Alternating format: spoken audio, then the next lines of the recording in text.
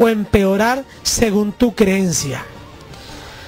Y no me refiero directamente a la religión porque las religiones enseñan cualquier cantidad de cosas y todas llegan al mismo punto, a la fe. La religión es como esta carta, hermanos. De aquí no se sale. Esta carta rectangular, la religión es cuadriculada, porque siempre van a tener la razón según su doctrina, pero según su enseñanza nos queda mucho que desear.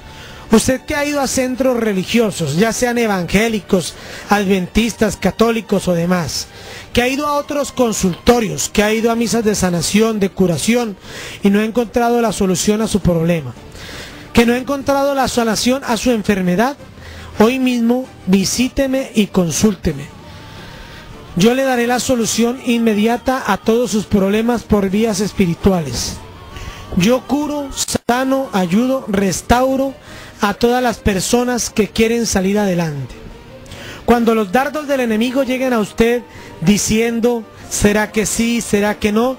Tome su teléfono y compruébelo con su llamada.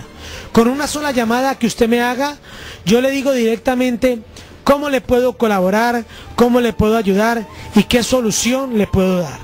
Usted que no puede venir a mi oficina porque le queda muy lejos, hago trabajos a larga distancia. ¿Para qué?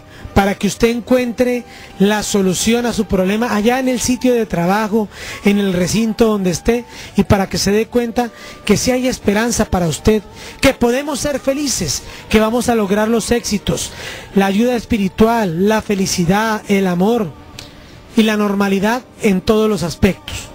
Usted fue creado para el éxito, el triunfo, la prosperidad y no para el fracaso. Recuerde que usted es lo que Dios más ama, que fue creado a imagen y semejanza del arquitecto del planeta, que todo lo que usted haga visible, positiva y favorablemente van a llegar directamente